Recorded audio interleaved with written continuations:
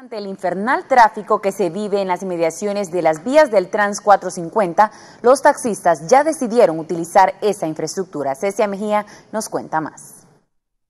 Los capitalinos están al borde de la locura ante el congestionamiento vial que ha provocado la reducción de carriles en dos bulevares de Tegucigalpa para la construcción del famoso Metro Trans 450. Su desesperación, al parecer, empieza a tocar fondo y al ver deshabilitados los tramos culminados sin autorización, empiezan a darle uso a las vías.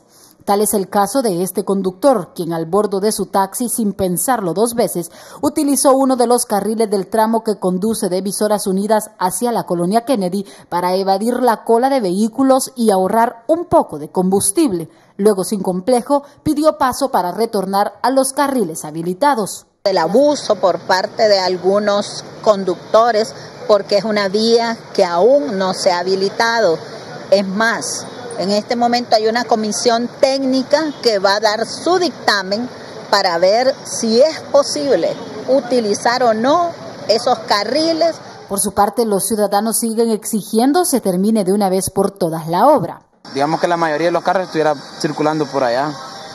Y el, grande que en este carril el pequeño por allá. Este no es el único ni el primer vehículo que utiliza estas vías. Han trascendido denuncias que a diversas horas del día carros particulares también hacen uso de los carriles.